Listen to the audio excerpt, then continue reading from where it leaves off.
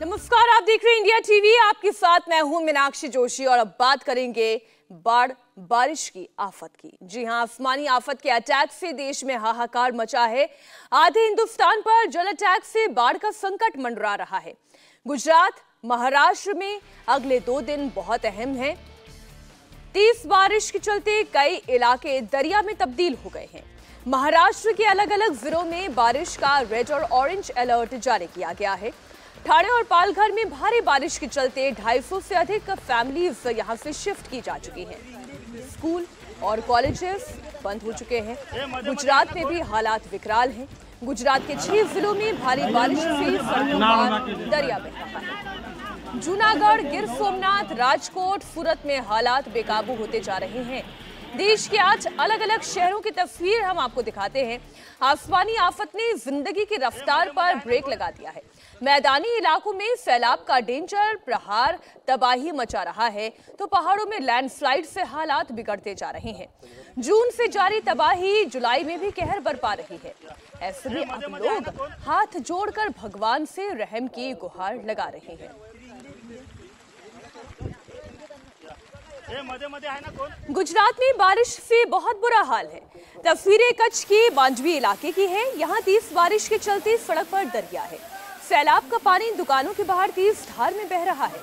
बारिश की तेज धार में सड़क पर खड़ी स्कूटी एक तिनके की तरह बह गई। तस्वीरें आपके सामने हैं। पानी का प्रहार इतना तेज था कि लोगों के पकड़ने के बावजूद स्कूटी रोकने में खासी दिक्कतें आई। ये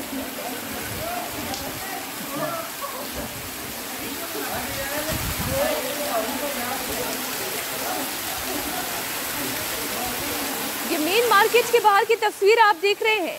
ए, दोनों तरफ़ सड़क के दाएँ बाएँ आप दुकानें देख रहे हैं। दुकानों के बाहर लोग अपनी स्कूटीज खड़ी करते हैं पार्क कर देते हैं गाड़ियों को। लेकिन उन्हें क्या पता था कि पानी की रफ्तार पानी का वेग इतना तेज होगा कि स्कूटी बह जाएगी। अब आप देखिए, इंसान तो इंसान, जानवर तो उनसे ज़्यादा बेहाल है, परेशान है। एक गाय चपेट में आ गई। किसी तरीके से लोगों ने उसे रेस्क्यू किया। आप देखिए किस तरीके से सींग पकड़कर उसे लोगों ने मिलकर खींचा। तीस धार में सब कुछ बहता हुआ जहाँ नज़र आ रहा है तो वहीं लोगों की इंसानियत भी सामने आ रही है। किस तरीके से इस जानवर को बचाया गया? सैलाब में एक गाय फंस गई थी, वो बह जाती, उसकी जान पर संकट था। लेकिन देखिए, पहले दो लोगों ने और फिर चार लोगों ने मिलकर एक साथ इस गाय की मदद की और इस सैलाब से इस गाय को बाहर निकाला। आइए, अब तस्वीर आपको दिखाती हूँ गुजरात के द्वारका की। यहाँ पर तेज बारिश की वजह से सीढ़ियों पर झरना बहने लगा। जी हाँ सड़कों पर इतना पानी भरा हुआ है कि रिहायशी इलाकों में बने हुए ये जो स्टेयर केस है, जो सीढ़ियाँ आप देख रहे हैं, उस पर झरना बहता हुआ नज़र आ रहा है। ये तस्वीर द्वारका की है।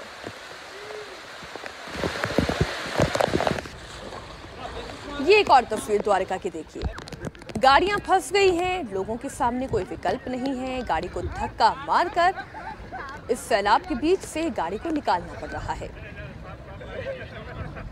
लोगों के घुटनों से ऊपर तक का पानी जा चुका है। बस पानी में डूबी हुई नज़र आ रही थी, आपने देखा? बगल में ही एक बस भी खड़ी हुई है। कार को देखिए। चलिए, कार किसी तरीके से सैलाब के बीच में से निकल ज़रूर रही है, लेकिन कब तक इसका इंजन साथ देगा, ये एक बड़ा सवाल है। अब एक वैन की तस्वीर आप देखिए। द्वारका की ही वैन की तस्वीर। वैन बंद हो चुकी है। अब लोग धक्का दे रहे हैं तो किसी तरीके से ड्राइवर इस सैलाब के बीच से गाड़ी को बाहर निकाल रहा है। गुजरात में बारिश से छह ज़िले इस वक्त तबाही की मार झेल रहे हैं।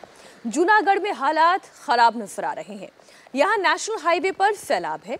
बारिश के बाद जल अटैक ने ज़िंदगी की रफ्तार पर ब्रेक लगा दिया है। जगह जगह सड़कों पर आपको दरिया दिखाई देगा। इंडिया टीवी, हर वक्त। हर जगह डाउनलोड करने के लिए सर्च करें India TV news, Google play store या एप स्टोर पर।